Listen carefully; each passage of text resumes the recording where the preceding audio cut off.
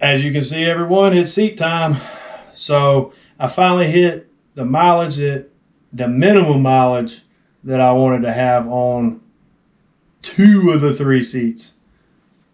And stick around see which ones made the cut and which ones did not.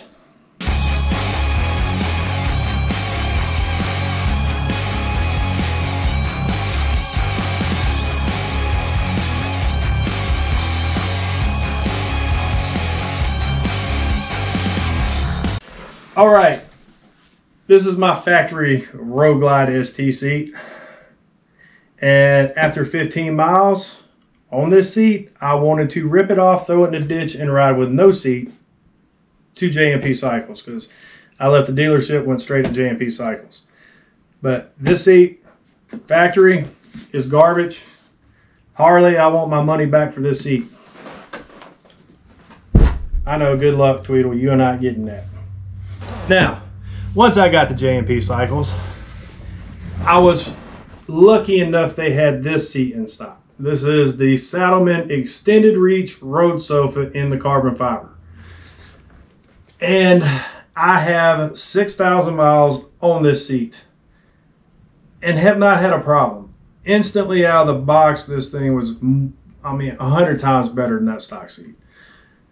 I actually went from hating that new bike to actually loving that new bike because of this seat because the way I sat on it, it actually made the bike fit me better. Now,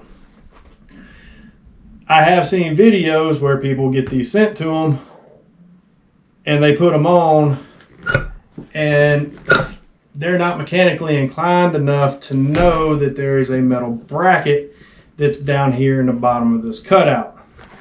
You got to make sure this goes into the metal bracket. And you'll know when it does it because it makes this noise. It's locked in, not going nowhere. I've seen them where they put it in and it went everywhere. So, don't be like her. Now, far as the back seat, this is an extended reach. So, fellas, if you're looking at this for your lady, that's about as much room she's going to have. So you definitely got to consider her size if she's going to fit on this. Uh, I do have the tour pack.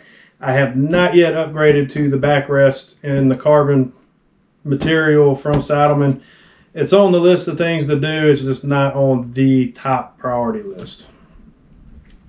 So I can't really speak about the back as far as comfort goes, but I can speak about this front section.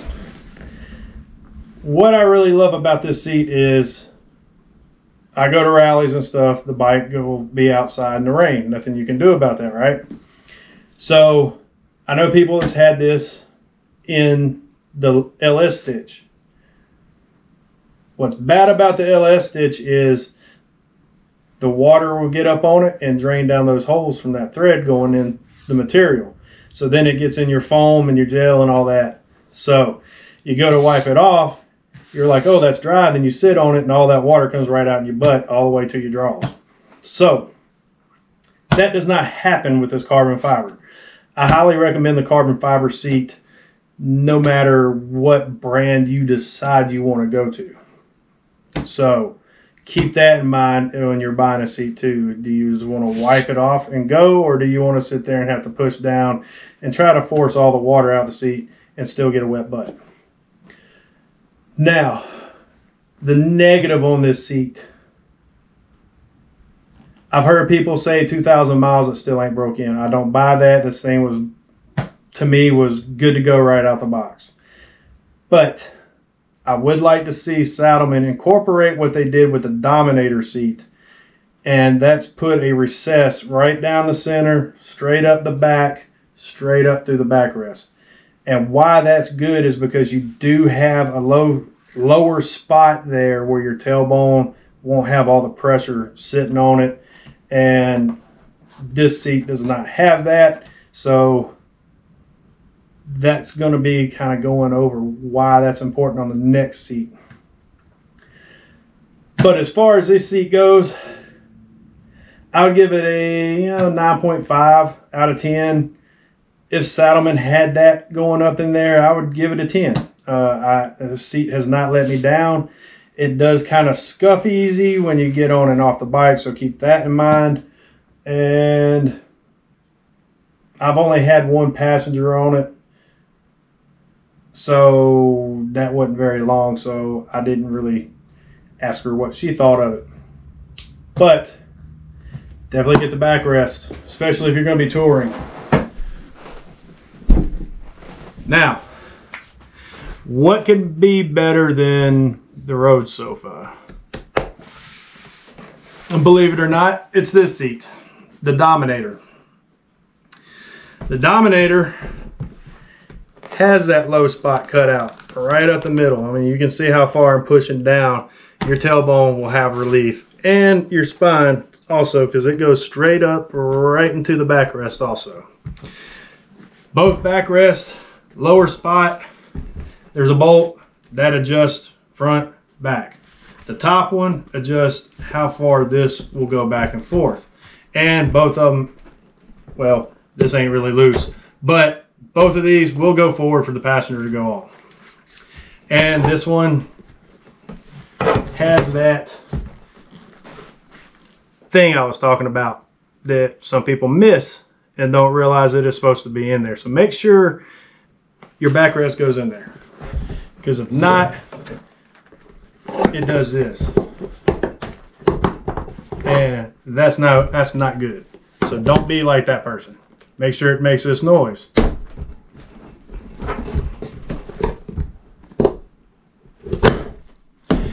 It don't make that sound, it's not in right.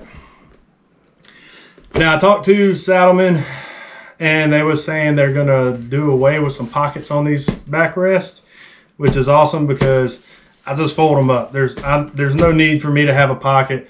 I could cut it off, but you're gonna see the top of that nut on the on the uh, thing right here, and I'm just like, well, fold over, better than nothing.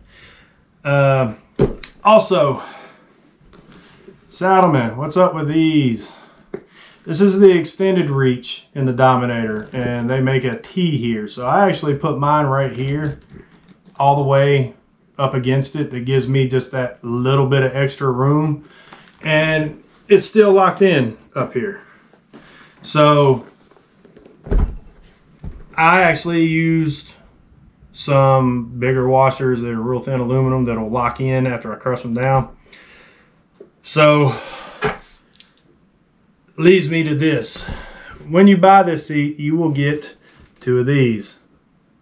Hopefully the camera is actually zooming in on it and making it clear.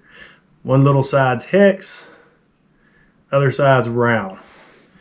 Now, I don't remember the size wrench and I'm not going to throw that out there because once you lock these down, you can actually probably put Loctite on the studs and lock them down and it's really going to hinder somebody if they try to steal your seat. And speaking of stealing seats, all Saddlemens have a serial number in them, but Saddlemen, you need to go and laser etch them onto the plates on the bottom. That way, somebody steals it, they can't cut the tag off. So if you get a Saddlemen seat with no tag on it, in my opinion, that would be a stolen seat. So I would always check to make sure these tags are on there because if something happens, you have to get it recovered. That's also how Saddlemen knows that it's their seat. So then they can go and recover it. And when I mean by recovering, I mean rematerialing it. Now, this seat has 2,500 miles, give or take, maybe a 100. Um, God, man, this one I love it more than the road sofa. To be honest with you, for a long haul going to Daytona, I was. We did not go gas station to gas station, but I could have done gas station to gas station and not had any numbness at any point at all. Unlike the road sofa, as I got closer to the end towards the gas station, I would start getting numb spots. And it, but as soon as I move, those numb spots instantly went away. This seat, I didn't even get them. Now, I love the recession in it, but I have what I consider a normal size butt and it feels like my hind end is hanging off. So I would like to see this seat come out a little wider. I think it would be the perfect seat if Saddlemen widen it because that will help, especially if they kind of flared up a little bit.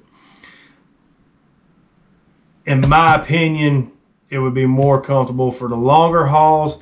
They say this is a 100, 200 mile seat. I do not agree with that because I did 650 miles and was perfectly fine. I do have friends that have this seat and one has that seat with no backrest. The other has that seat in LS stitch and the one that has the LS stitch loves this seat. The other one hadn't got this one yet. So get off your butt and order it. You know who you are. Definitely get the backrest.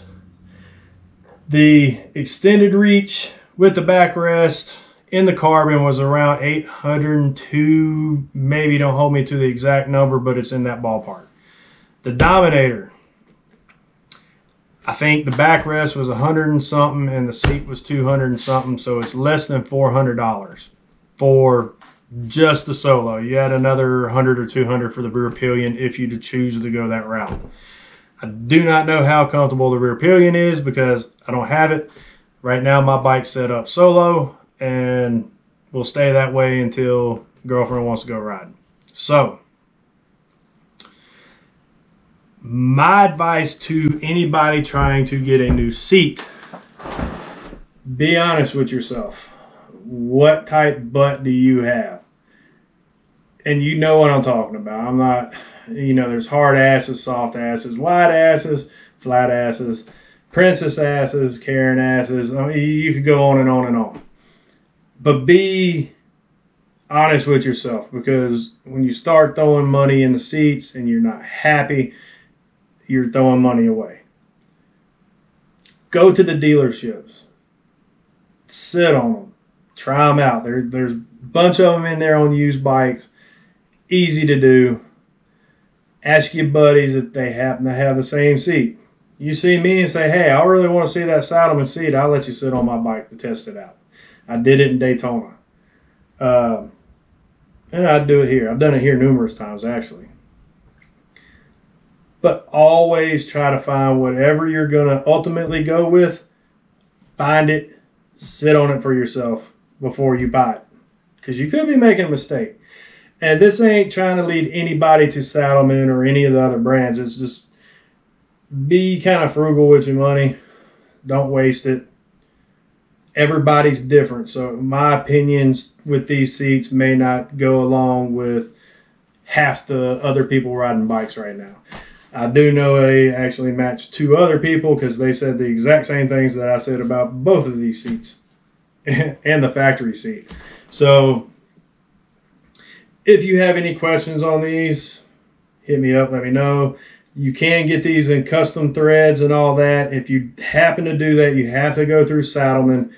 But the great thing with Saddlemen is once your order is complete, they email you. But once they go and make the seat pan, uh, pour the gel, cut the fabric, pour the foam, all that, you get an email at every step of the way to your seats completely built in a box and has a tracking number and shipped out and their customer service is awesome. Never had a problem with Saddlemen at all, and would highly recommend them to anybody. But ultimately, it's up to you. So I'm gonna get out because it looks like the rain's passed, and I'm gonna try to go ride. So I'll see y'all on the next one. Get out and ride. Enjoy it while you still got it. Peace.